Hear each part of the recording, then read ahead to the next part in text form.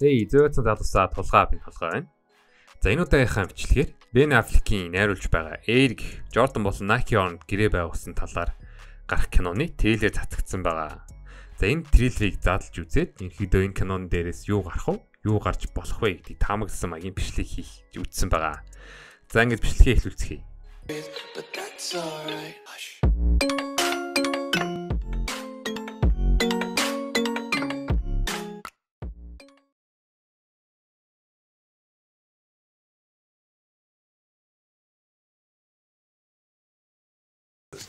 За трейлерийн эхний хэсэгт 1984 оны Nike-ийн офис болон борлуулалтанд буурсан талаар за бас Phil Knight, Sony Vaccaro сагсан бөмбөгийн бизнесийн салбараа босгохоор авчирсан талаар гарч байгаа. За Matt Damon бүтээсэн энэхүү дүр нь Sony Vaccaro-гийн дүр юм. За тухайн үед Reebok Aerobic-ийн гутлын зах зээлийг гартаа оруулсан бол Nike-ийн гол салбар болох гүйлтийн гутлын зах зээл нь зогсон байдалтай болсон байлаа. За тийм ч учраас Nike сагсан бөмбөгийн салбар руу орохоор шийдсэн бололтой. За харсанчлан Nike офис нь тийм ч том байхгүй байгааг харж байгаа. Дараагийн хэсэгт Sony-гийн араар зүрх хүн бол Rob Stracer гэх хүн бөгөөд Jason Bateman жүжигчин дүрийг бүтээжээ. Air Jordan Line-ы худалдаанд оролцож байгаад хэдэн жилийн дараа Nike-г орхиж Adidas-ын өдөртөг албан тушаал хүртэл явсан гэх юм аа. За Sony-гийн уулзж байгаа дараагийн хүн мэдээж Ben Affleck-ийн бүтээсэн дүр Phil Knight. За Phil Knight нь 1971 онд Nike брендийг үүсгэн байгуулагч за залуудаа гүйлтийн тамирчин байсан гэдэг. За бот байдал дээр Sony 1977 онд Canon дээр гарах үйл явдлаас 7 жилийн өмнө Nike-тэй холбоо тогтоод шинэ гутлын санал хийсэн ч тоогдоогүй өнгөрчээ. За Sony-д нэг том зүйл байсан нь танил тал болон харилцаа холбоо байсан бөгөөд үүнийг нь Rob Stracer ашиглаж Sony тодорхой цалин өгч Nike-гийн гутлыг дээд сургуулиудын загсан өмгийн багт өмсөхийг хүсжээ.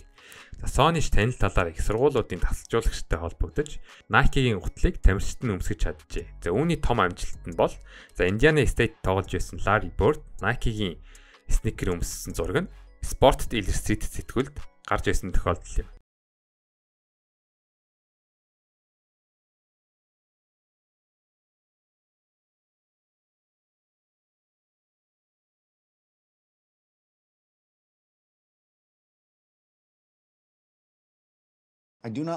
За энэ хэсэгт Nike-гийн нөхцөл байдал болон гол хүмүүсийг харуулж байна.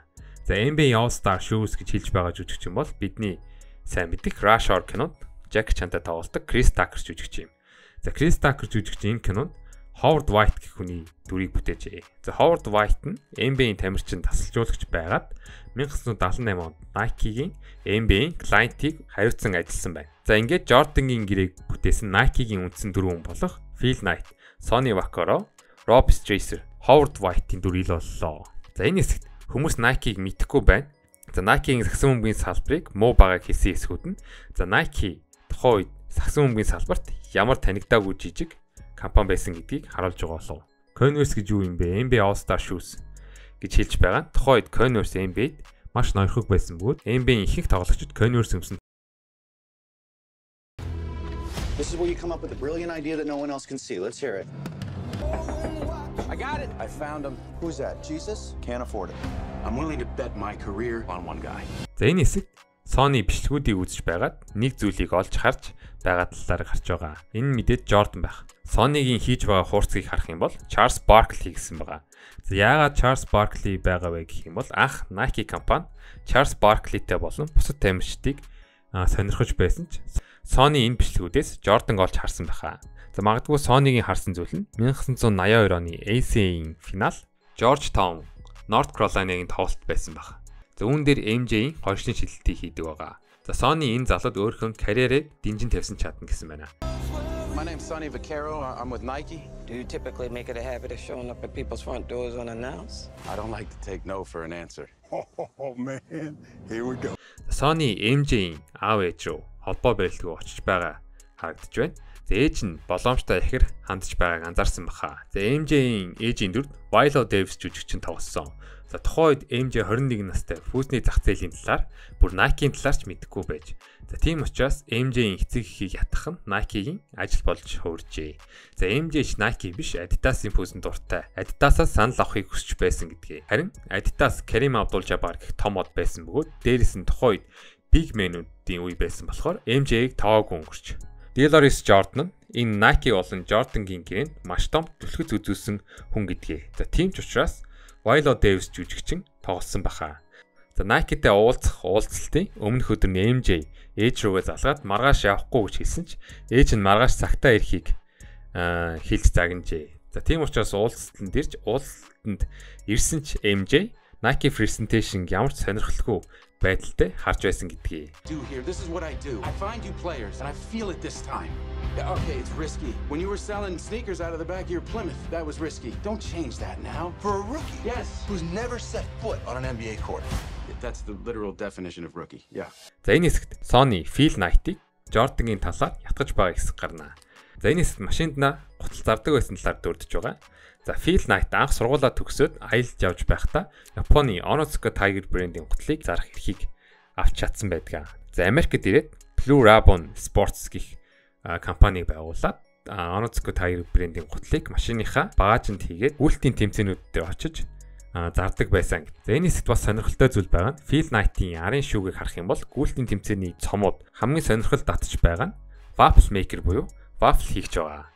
Phil Knight Onitsuka Tiger брэндтэй харилцаагаа дассны дараачаар өөрсдийн гутлыг зарахар болсон бөгөөд Nike-ийн хамтран үүсгэн байгуулагч Bill Bowerman гэх хүн waffle maker-ээр ашиглан эрдзэнийг хайлуулан уул хийсэн байдаг. За энэ waffle уултай гутлууд нь дажгүй амжилттай болсон байдаг. За энэ гутлууд нь ч ардан байгаа харж байгаах. За магадгүй энэ waffle уултай гутлууд нь Nike-гийн яг ганцаараа бие дааж гаргасан анхны гутлын технологи байж болох юм аа. За NBA тоглож үзээгүй rookie тоглогчид line хийж нүүр царайгаа болгох нь ямар эсэлттэй алхам болохыг бас мөн харуулж байгаа хэсэг юм болов. What's the plan? We build a shoe line around just him. I need the greatest basketball shoe that's ever been made. Who's the player? Michael Jordan. За магадгүй энэ хэсгийг хараад хүмүүс Air Jordan-ы Skechers зураг байна гэж харж магадгүй. За сайн харах юм бол Airship-ийн Skechers зураг харагдаж байгаа. За Airship нь Air Jordan-ыг харахаас өмнө Jordan өмсөж NBA-д бандуулсан байдаг. За Airship-ийн талаар NBA-д хоригдсон sneaker-үүд гэсэн бичлэг дээрээ арай тодорхой ирсэн байгаа. За энэ хэсэгт гарч байгаа хүн бол Peter Moore юм. За хамгийн алдартай буюу Air Jordan-ыг Dunk-ийн загваруудыг гаргасан хүн. За бас сонирхолтой нэг баримт нь Adidas-ийн 3 зураастай логог бас хийж исэн юм байна.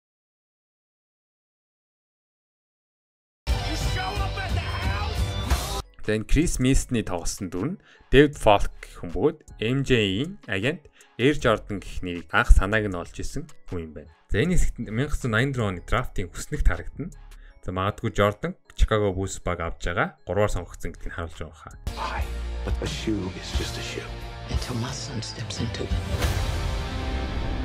За энэ хэсэгт ер нь гэрээ байгуулж байгаа үйл явц бол амжилтанд хүрж байгаа.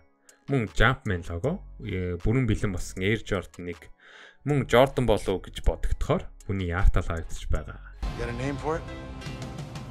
Air Jordan. I don't know. Seriously? Maybe it'll grow on me. Энэ хэсгийн харилцан яриа Phil Knight анх Nike биш Dimension 6 гэх нэрийг а, компанитай өгөхийг хүсэж байжээ.